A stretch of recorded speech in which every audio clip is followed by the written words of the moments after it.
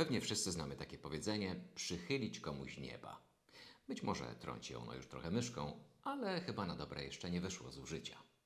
Przychylić komuś nieba to tak się postarać, tak się postarać, żeby ta druga osoba poczuła się dobrze, żeby była szczęśliwa. Zrobić wszystko, co w mojej mocy, żeby ta druga osoba właśnie tak się poczuła. W dzisiejszej Ewangelii słyszymy, że Pan Jezus przychylił swoim apostołom nieba dosłownie i w przenośni. Mają niebo na wyciągnięcie ręki, a jednocześnie dostęp do takiej relacji, która tak uszczęśliwia, że jeśli tylko chcą coś z tym zrobić, to będą zadowoleni. Jest to bardzo ważny moment w życiu apostołów, bo właśnie wtedy Jezus jest na ustach wszystkich. Każdy spija słowa z jego ust. Jego cuda są nie do przecenienia i nie da się obok nich przejść obojętnie. Jezus jest, można powiedzieć, galilejskim celebrytą, a oni należą do jego bezpośredniego otoczenia. Czy może być coś innego w zanadrzu dla nich niż sukces?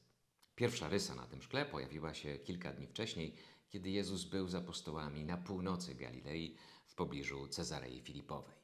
Tam z ust apostołów padły bardzo ważne słowa dotyczące tego, za kogo oni go uważają. Ty jesteś Mesjasz, Syn Boży. Świetnie, potwierdził Jezus, ale zaraz później zaczął im opowiadać o tym, że zostanie wydany, że będzie cierpiał, że umrze i że wszystko to jest częścią Bożego planu. Piotr wziął go na bok i powiada: Mistrzu, przestań tak czarno myśleć. To zdarza się ludziom sukcesu, ale przecież na ciebie to nigdy nie przyjdzie. Co usłyszał w odpowiedzi? Idź precz, szatanie, idź za mnie, zajmij miejsce właściwe uczniowi, a nie wypychaj się przede mnie. Nie, bo będziesz mi zawadą. Ty myślisz po ludzku, a nie po Bożemu. Ten zgrzyt być może już apostołowie wyparli z pamięci, kiedy znaleźli się z Jezusem na górze. Tylko trzech z nich dostąpiło tego zaszczytu. Piotr, Jakub i Jan. Tam Jezus się wobec nich przemienił. Nie po to, żeby się popisywać bynajmniej, ale po to, by, jak się potem okaże, umocnić ich na godzinę próby. Nagle ten, którego widzieli w świetle dnia, którego oglądali przy blasku księżyca, pokazał im się w blasku swojej boskiej godności. Wszystko zapisane jakby symbolicznie, zgodnie z przekazem dzisiejszego pierwszego czytania z księgi Daniela, która musiała żyć w świadomości apostołów i innych ludzi tamtego czasu. Oto przedwieczny zajął miejsce na tronie, szata jego biała jak śnieg, jego włosy białe jak śnieg. Wszystko to jest symbolem odwiecznej czystości, ale wieczności Boga i Jego odwiecznej mądrości. Właśnie w takim kluczu, w takich barwach pojawia się Jezus i to jeszcze w towarzystwie dwóch znamienitych postaci, Mojżesza i Eliasza, którzy odpowiednio reprezentują prawo i proroków, na których zasadza się tożsamość żydowska. Jezus rozmawia z nimi o swoim odejściu. Apostołowie dokładnie rozumieją to, co się dzieje, a jeśli nawet nie rozumieją, to w sposób naturalny dla siebie padają na twarz i bardzo są przestraszeni. Takie opisy towarzyszą w Starym Testamencie wszystkim tym sytuacjom, kiedy Bóg objawia się ludziom. Wtedy okazują oni swoją, swoje miejsce, można powiedzieć, w szyku, padają na twarz i są przerażeni. To przerażenie nie jest jednakowoż paraliżujące.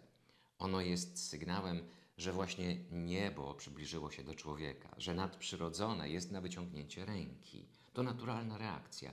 I dokładnie w takich kolorach ewangelista Mateusz rysuje całe to wydarzenie. Oni w naturalny sposób czują, że niebo się do nich przybliżyło. Chcą zatrzymać tę chwilę, tak by trwała jak najdłużej. Zbudujemy trzy namioty.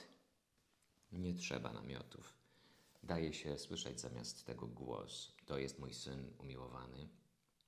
Jego słuchajcie. Wtedy Jezus podsumowuje całość i mówi: Nie bójcie się, czas wracać. Nie bójcie się teraz i nie bójcie się wtedy, kiedy zobaczycie rzeczy przerażające. Do mnie należy ostatnie słowo. Święty Piotr w dzisiejszym drugim czytaniu również w tym kluczu snuje swoją narrację, mówiąc do swoich adresatów, że nie opowiadaliśmy wam bajek, kiedy opowiedzieliśmy Wam historię Jezusa Chrystusa. Nie opowiadaliśmy Wam rzeczy wymyślonych przez kogoś, bynajmniej sami uczestniczyliśmy w spektakularnych rzeczach, które Jezus miał nam do zaoferowania. Ale i tak najbardziej spektakularnym było to, że był On właściwym Mesjaszem i że trzymając się tego słowa i relacji z Nim, nie potrzebujemy tak naprawdę żadnych wielkich cudów. Niebo jest na wyciągnięcie ręki, a my jesteśmy Jego obywatelami. Wszystko zależy od tego, jaka relacja z Jezusem nas charakteryzuje. Jeśli jest ona głęboka, wygraliśmy los na loterii i sukces nas nie ominie. Niebo staje się częścią nas. Amen.